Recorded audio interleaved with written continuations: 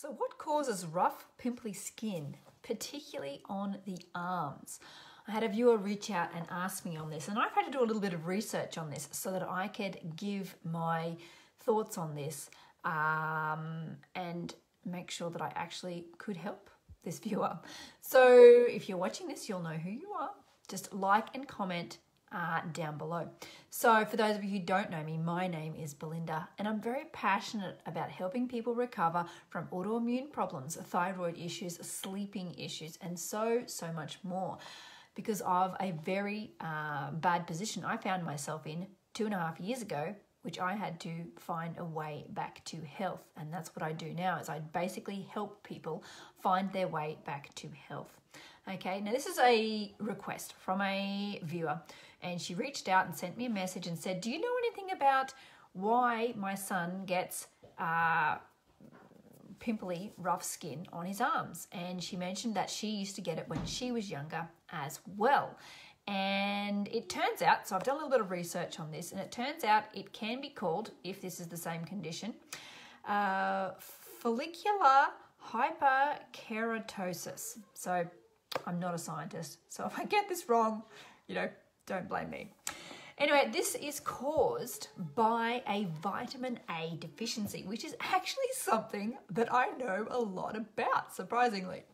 Okay, so this can be caused by not having enough vitamin A or retinol in your skin.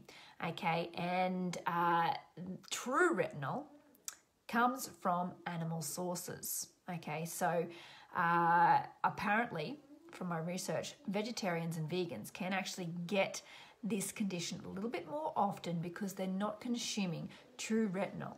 Now, when we don't have enough true retinol, it can actually cause a iron deficiency in our body as well. So these two are actually linked. So quite often you may have an iron deficiency as well, which needs to be resolved by improving our vitamin A, okay, um, using true retinol.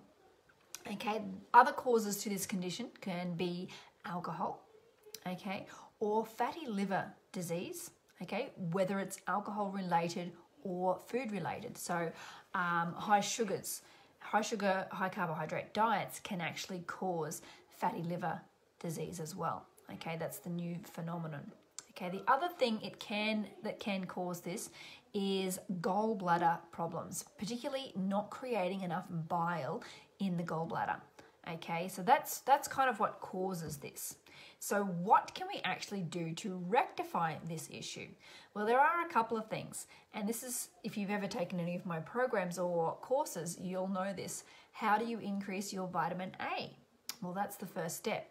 Well, the best source to improve your vitamin A is actually good old extra virgin cod liver oil.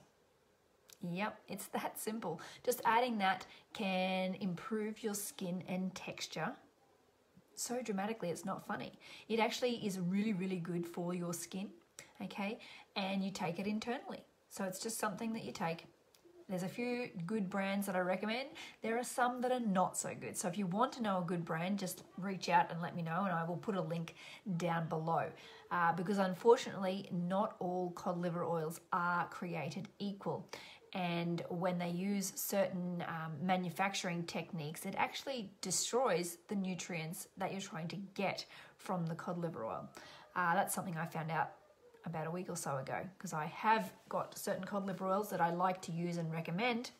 Um, and then I was finding out about the production process and how you actually find out if the cod liver oil is a good one to use or not. And it comes down to how it's manufactured, which is really interesting. Another thing that uh, you can try is improving your vitamin E. Okay, um, that can actually be something that a high sugar, high carbohydrate diet actually um, takes from your system. It takes a lot of magnesium, it takes a lot of uh, vitamin E from your system as well. So maybe looking at making some dietary changes can also help with these skin conditions. Okay, the other thing that can cause it, which I omitted to um, mention, was exposure to arsenic. Okay, and that can come on our fruits and vegetables, and that's why, um, and that's basically why when we can and it's available and we can afford it, organic is the way to go because it's going to have less of these chemicals on it. So exposure to those arsenics and chemicals can actually cause this condition as well. So anyway, I hope you found this useful. If you're watching live, then let us know live. And if you're catching this on the replay, then let us know replay. And I have a pesky itch here for some reason.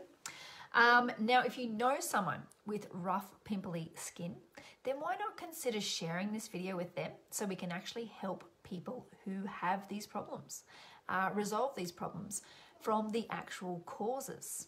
Okay, anyway, you have an awesome day, and I will see you at this time tomorrow.